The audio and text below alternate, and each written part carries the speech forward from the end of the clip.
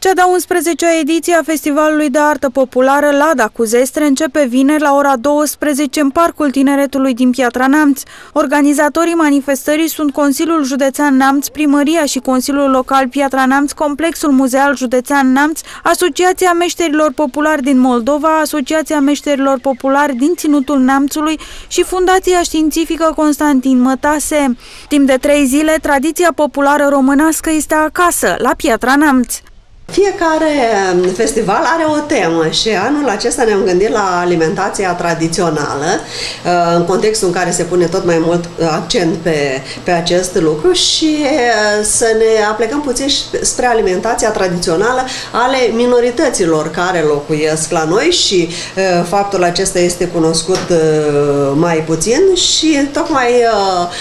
din acest motiv am apelat la o doamnă doctor etnolog care se ocupă ocupă de, de aceasta, este vorba de doamna Tinca Nistor și ne va vorbi despre alimentația tradițională a ceangăilor din Moldova și astfel să învățăm să ne cunoaștem mai bine unii pe, pe ceilalți. Evenimentul reunește meșteri populari din întreaga țară și din Republica Moldova. Aceștia vor expune creații populare din domeniile ceramică, ceramică figurativă, prelucrarea lemnului, industrie casnică, pielărie, ouă încondeiate, icoane și pictură naivă, împletituri, podoabe, instrumente muzicale și prelucrarea osului. Îi invităm pe petreni să vină, să se reîntâlnească cu meșterii pe care i-au cunoscut în anii trecuți, să cunoască alți meșteri noi, să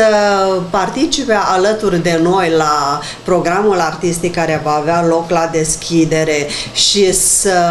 vadă pe toți cei care au decis să organizăm în acest an festivalul de, Lada, de,